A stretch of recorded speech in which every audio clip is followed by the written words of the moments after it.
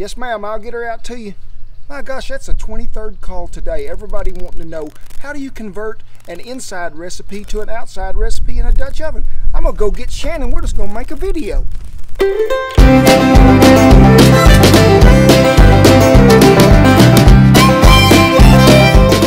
Yes, ma'am, I get that question everywhere we go. So what are we gonna tell them? I, Oh, product, little product placement. We have cooked everything in this cookbook in a Dutch oven that can be cooked. Um, but this is converted for indoor cooking. And why did we do that? Because you can convert and pretty easily any recipe that calls for conventional oven cooking to a Dutch oven. You just need to know a few tricks and Yeah. techniques.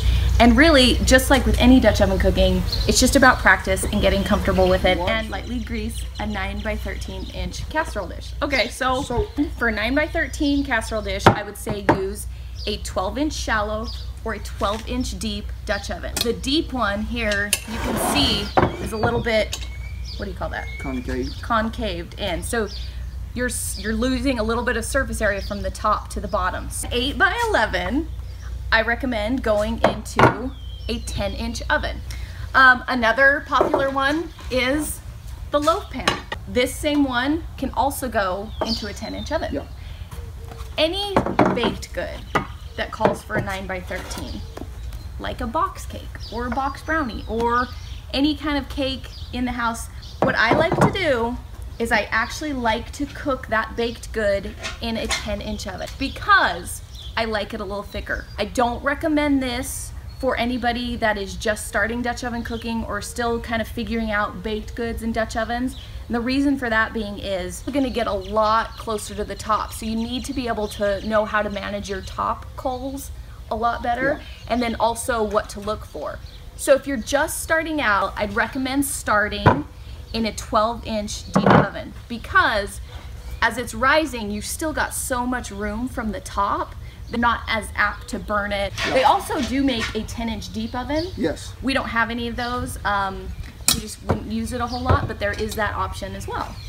We have a lot of people ask us about inserts, but just to give you kind of a quick idea, let's say you want to do this this loaf pan, but you don't want to pour the contents into a 10 inch and have it be round. You want it to actually be in a loaf pan. You could stick this directly in it and cook it just like this. The reason Kent wouldn't do this in the shallow one is because you are about an inch from the top. So if you have any rise, it's going to hit the oven. So you'd want to put it in the deep 12.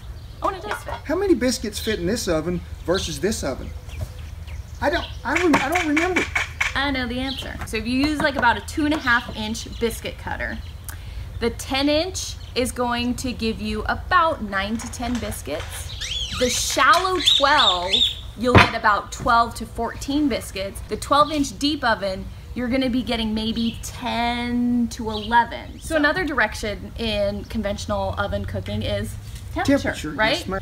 There is no knob. How are we gonna regulate heat? You're going to regulate heat with the Dutch oven, and that is two different sizes of trivet that we so happen to make right here at the Red River Ranch, Shan. So we use two different, mainly two different sizes of trivets. This is what we call kind of a medium or short trivet, and this is our tall trivet. We're gonna we're gonna cook a casserole. What Okay, we- because it's a casserole, yeah. I'm assuming you can stir it. Yes. Anything that you can stir and that you can monitor and is not just gonna sit there on the bottom and cook, you can use a lower trivet because it's gonna be a little closer to your heat source. We always do a coal placement in a circle around the Dutch oven, never directly What under kind of coals are we using? We're using hardwood. That's what we prefer. Yeah, and you can use a hardwood lump. You're going to have something that makes more heat and lasts longer, especially more than a briquette or something like a softwood. We cook with mesquite Yeah. 80, 99% of the time. I've used Hedge, which is the Bodark. It's really hot, but it's really a live fire, snap, crackle pot. You know, been on a lot of ranches, and you have to with me where we had to use cedar. It's not bad to cook with, you know. It gives a good heat at the Yeah. beginning. It just doesn't last very long. It ashes out. And the and the oak is pretty good. The red and the white oak, and uh, I- I've used it quite a bit. I've used some hickory and pecan, but it's more smoking wood than it is a cooking wood. You just have to utilize what's ever in your area. When you cook with it a couple times, you'll figure out pretty quickly how it works. some of you out there are briquette fans. There are certain formulas that you can use for briquettes. Yeah. You can look that up. However, do take in consideration wind, elevation. So there's a lot of different factors that go into that. So don't trust that once you get that formula, it's 350 Yeah. degrees. because it ain't gonna happen. Right. And always remember, like we've told you so many times, five seconds. The length, width of your hand. Can you hold it more than five seconds? It's probably not 350 degrees if you can hold it more than five seconds. And with Dutch oven cooking, you and this this was a hang up for me. You're, you're kind of obsessed with your watch and that 350 degrees. Throw both of those ideas out the window. right. You don't need to be concerned about 350 degrees. If you use that five second rule on the top and the bottom, that'll give you the the heat intensity that you need. Yeah. And then from there, you're just looking for sight tips. So let's say then, though, that we're switching and we're doing a recipe that's a cake. And it's 350 degrees for 45 minutes. Yes, So how do we regulate that type of heat? Remember, if it's baking, it's not something that we can stir, we can't see the bottom. That's why you're always gonna wanna go with something with a more of a distance from your bottom fire to the top. That's why we recommend a tall trivet. The talls that we make, this is about a five and a half, this is about a three and a half. But you can also regulate temperature by how many coals you actually place. Exactly. But with this tall trivet and you're baking, you want to bake slow. Right. The and a kind of a general rule of thumb with baking, the more moisture it has, the slower you want Yes. to cook it because you want that to evenly cook through so you're not raw in the middle. That's why we use the tall trivet and like Kent mentioned, you want a lighter ring of coals around the bottom. You can put an even layer on top. You can always add heat, Yeah. but you can't take it away once you've burned something. That is right.